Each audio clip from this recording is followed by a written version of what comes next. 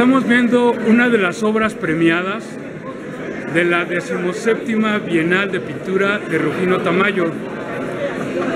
Y ahora aquí tenemos al, al premiado, a Edgar Cano. Edgar, pues te felicito por haber obtenido este premio. Gracias. Eh, bueno, cabe recordar que estamos en el Museo Rufino Tamayo, en la inauguración de la exposición. Oye Edgar, ¿cómo ves el movimiento pictórico actual en México?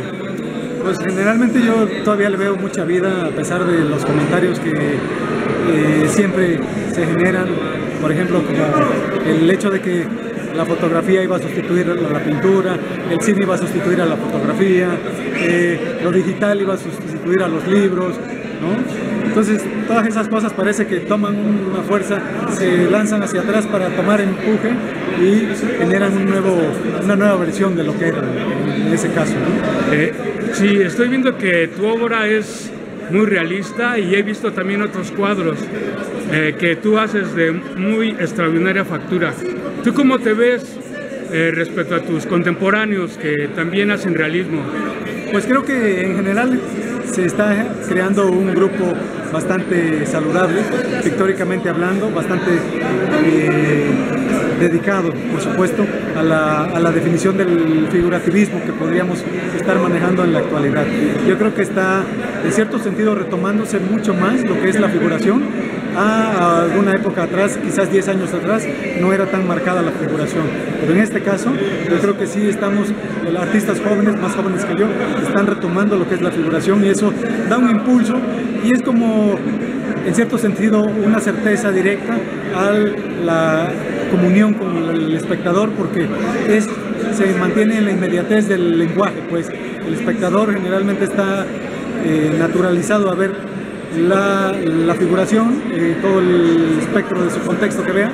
Y bueno, viene a ver quizás en un cuadro una figuración más, pero quizás eso es la, el clic que hace más fácil, digamos, la comunicación. Es por eso que en mis obras no solo hay figuración, sino que también procuro que haya un, una temática previa, una temática basada en un sistema social en el cual estamos enraizados, que es la urbe, eh, la, la, sociedad contemporánea mexicana, eh, también el campo, el paisaje y todos esos elementos que podrían definirnos como individuos de la contemporaneidad actual que estamos viviendo el día de hoy. Muy bien, Edgar. Eh, quería preguntarte también que, bueno, si bien la pintura puede vivir sin el arte contemporáneo, eh, sabemos que el arte contemporáneo está ocupando muchos espacios en el país.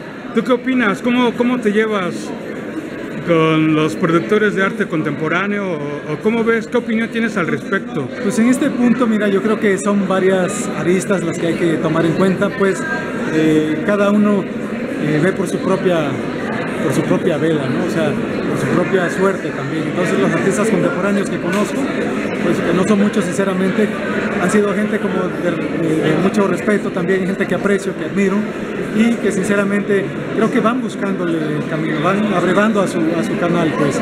En este caso, a mí particularmente me interesa como coincidir más con ellos también para entender la lógica en la que se maneja, ¿no? definitivamente.